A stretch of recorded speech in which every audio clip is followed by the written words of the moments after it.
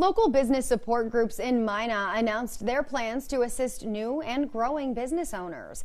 But an increase in business could also mean an increase in the demand for commercial space. Lauren Davis learned more about the Startup Minot organization and how it could impact other industries.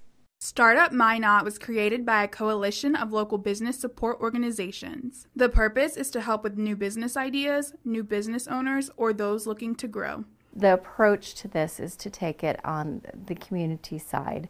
And the mentorship and the fellowship is something that is extremely important for any business owner to have someone or a group of people that you can bounce ideas off of. The Startup Academy will host three hands on, 10 week long classes where business owners will learn from guest speakers and field experts. The organization says similar courses would typically cost more than $700. Realtor Tim Knutson says he thinks the Startup Academy is a good idea and that it will eventually benefit realtors. I think like a business incubator of sorts would be awesome because it's going to help people to you know, get their feet wet and, and start trying out something, their, their idea, their dream. And then if it starts to take uh, uh, ground, then they're going to be starting to look for something more permanent, you know, and a permanent location that's going to benefit them in the long run. So I think as realtors, that's going to definitely help us. Knutson says he's been seeing an increase in demand for commercial properties and has been getting calls looking for properties that can become a restaurant, a radio station, or even a small store. It feels like there has been an increase in need over, you know, the last